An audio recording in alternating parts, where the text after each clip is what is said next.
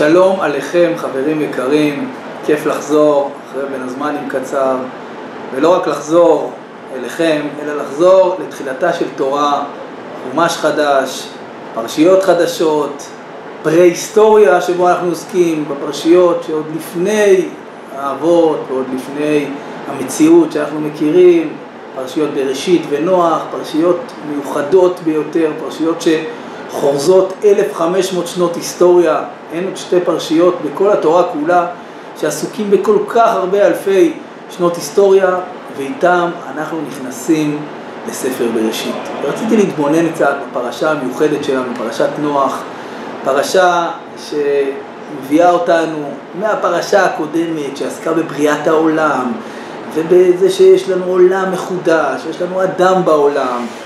יש גם את הבעיות, את קין והבל, אבל אחרי זה אנחנו נכנסים לבריאת העולם ולהמשכיות העולם ופה אנחנו פתאום כבר בסוף הפרשה הקודמת רואים את החטאים הגדולים של האנושות.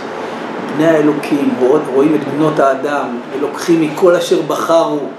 אם חשבנו שבעיית עריות הייתה פעם, הייתה, היא קיימת היום, אז היא הייתה כבר פעם, היא לא התחילה מאתמול.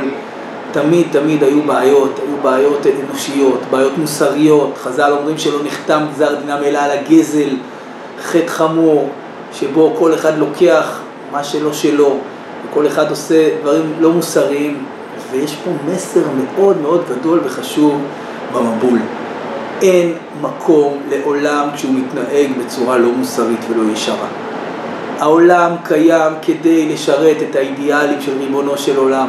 כדי להפוך להיות מוסרי, כדי להפוך להיות יותר טוב. וכשעולם מתנהג בצורה לא מוסרית ולא ראויה, אין לו זכות קיום.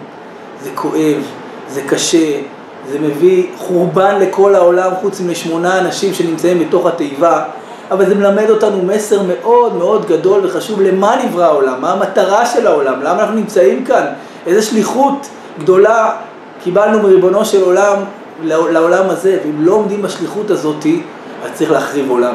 אני רוצה טיפה להתבונן בדמות של נוח, שמתחיל בתחילת הפרשה שלנו כאיש צדיק תמים היה בדורותיו, את האלוקים מתהלך נוח, ולאט לאט, לקראת סוף הפרשה, הוא הופך להיות איש האדמה. כמו שחז"ל אומרים על ההבדל הגדול בין נוח שהתחיל בתור איש צדיק והפך להיות איש האדמה, לבין אברהם אבינו שהתחיל בלי שום תארים והפך להיות אברהם אוהבי.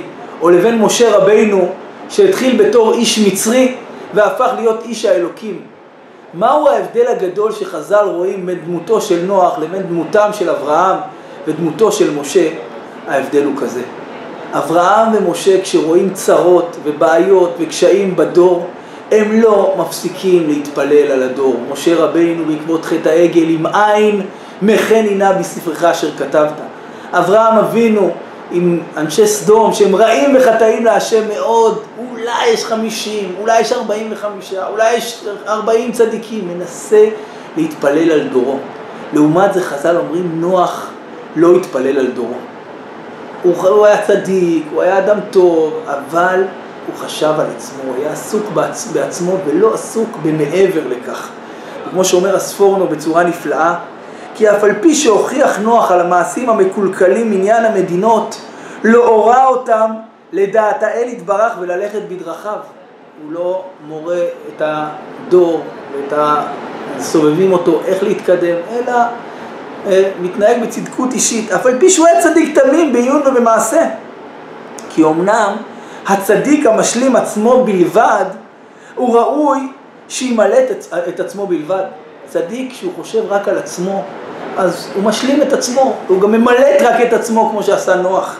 אבל המשלים גם את זולתו, הוא ראוי שימלט גם את זולתו, כי בזה יש תקווה אולי יחזירם בתשובה. זה מה שאנחנו מתחנכים אליו כאן במכינה. אנחנו רואים צרות, אנחנו רואים בעיות, אנחנו רואים סיבוכים בדור.